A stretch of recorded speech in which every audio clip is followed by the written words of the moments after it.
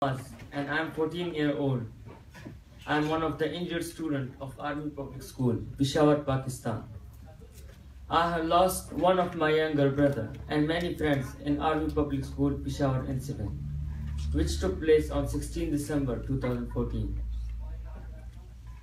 Thank you for giving me the opportunity and honor to speak here. Today, I want to share the biggest and the most horrific experience of my life through which I had gone in that incident. On the morning of 16 December, I woke up and woke my brother Haris Nawaz to get ready for the school.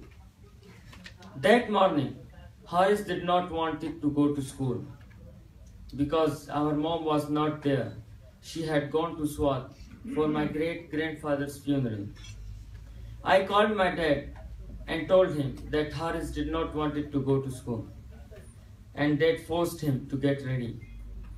We left for school in the school bus. Haris was still upset and angry about going to school. On reaching school, we were early. We played for a while and then went to our classroom. After the third lesson, the head teacher's PA came and asked us to go to the auditorium for the first aid training by a doctor. As the doctor started his training, we heard some strange sounds like gunfire. But the teacher was not worried and assured us that all was okay. Then suddenly the doors opened and all we heard and saw were some people fighting. Some children started running out of the auditorium, whilst of us got under the chair to hide from firing. After a little while, there was silence. Then I heard one of the gunmen saying to the other that the children are hiding under the chair. Then they started shooting children one by one at their head. There was a boy next to me, and suddenly he was covered with blood when they fired at his head. When I realized that I was the next, I suddenly moved my head under the chair to hide from firing. As they fired, it was a deafening sound and a bullet went through my arm. After some time, the auditorium went silent again. My left arm was bleeding, my shirt was red, and I was in worst pain. I saw one of my friends running towards the dressing room by the stage, and I followed him. There were many dead and injured students in that dressing room. I lay there as well, waiting for someone to help us. After a little while, I heard some sounds, I heard some voices. I, I was, we were happy till we realized that they were the terrorists. They started firing at the children they thought were alive. I pretended to be dead by keeping very still. I saw three injured students being shot. Then they left the room. It was a burning heart in the room as they fired as they put fire on the room. There was a boy crying.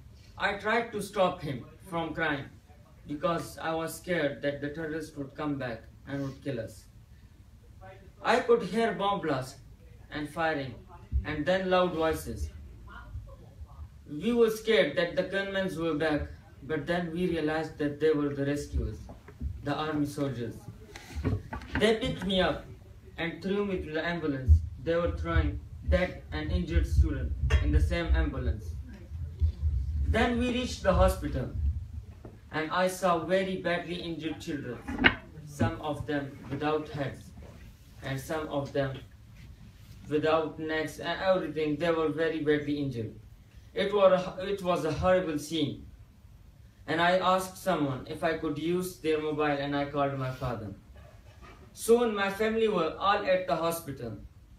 I was taken to the operation theater. When I came from the operating room, only a few of my cousins were there. I asked for my parents, but they would not tell me where they were. The next morning, I saw my parents and they looked very sad.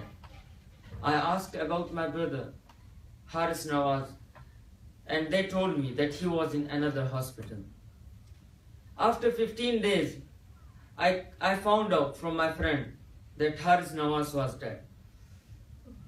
I was very sad and kept crying for my brother. I was in hospital for two months because my, heart, my hand was badly injured.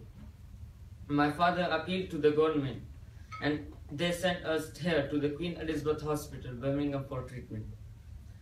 I was in hospital for two months in Pakistan and one month here in Queen Elizabeth Hospital. I was very fed up of the hospital environment and really wanted to go out. Now I'm very thankful to the hospital in Pakistan and Queen Elizabeth Hospital for all their care. I miss my brother and my friends, but they lost their lives for our country and education, therefore I am proud of them. Whenever I feel pain and see my injured hand, I am proud of what I have sacrificed. My survival in this massacre is America. This is my second life, and I have pledged to continue my own education and work for the education. Because I strongly believe that education is our right. And last, I'm very thankful to all of you for listening to me. And special thanks to the Honorable Chief Guest, Uncle Lord Nazir Ahmed, and CDRS team for organizing this event. Thank you so much.